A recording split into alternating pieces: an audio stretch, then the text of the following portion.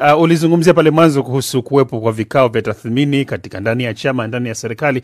Wakosoaji wa mfumo wa utawala uliopo wanasema kwamba hata hiyo chama chako cha Mapinduzi hakifanyi tena kazi kama chama, kinafanya kazi kama mtu mmoja au wawili tu. Unasemaje kuhusu hili? Uh, mi nadhani huo huo ni mtazamo wao. Chama CCM ni chama kikubwa sana, ni taasisi ambayo imejijenga kwa miaka zaidi ya hamsini na kitu, yaani sio taasisi nyepesi kama wanavyodhani uh, namna hiyo. Na mi nimekaa humu ndani miaka kumi na kitu uh, nikiwa mtumishi, tena nikikaa kwenye moyo kabisa wa chama hichi. Uh, ninakijua vizuri uh, na ninajua wakati fulani chama hichi kinaweza ukakiona kama hakipo hivi, lakini kipo na kinasimamia mambo, kwa sababu mi nitatoa mfano Mnakumbuka juzi wakati baadhi ya, ya, ya wabunge walikuwa wanafikiria kuongeza miaka saba hapa badala ya miaka mitano, chama kiliingilia kati, na mtakumbuka mwenye hoja alisema baada ya kushauriana na viongozi wa chama, nimeamua kuitoa hoja yangu. Sasa mkisema chama hakipo kabisa, mi nadhani sio sawasawa.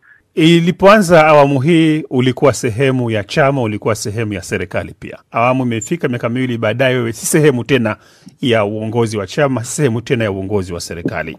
Hujihisi kutengwa? Ah, mimi kwa kuwa bado ni mbunge eh, lakini pia eh, nina nina nina access na viongozi, sioni kama sioni kama nimetengwa. Mimi na, najiona mimi ni nipo ndani na na kama kuna kushauri, na ndio maana juzi walipokuwa wanazungumza habari ya kuhama chama, nikasema mii bado naamini uh, katika kufanya marekebisho ya mapungufu yoyote tu yatakayokuwepo ndani ya chama badala ya kutoka nje.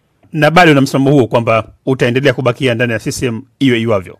Si, siwezi kuapa kwamba uh, unajua nitafia humu ndani, lakini nasema uh, kwa sasa bado ninaamini nina, nina kwamba Uh, kama yako mapungufu basi tutayashughulikia tukiwa ndani. Bado siamini kwamba dawa ya mapungufu yanayozungumzwa ni kwenda nje. Mi naamini yamo ndani, na mi ninayo mifano ya mapungufu mengi tu ambayo nime, nimeyakuta na tumeyashughulikia nikiwa ndani na yakafanikiwa. yaka. Sasa sioni kwa nini nikimbie.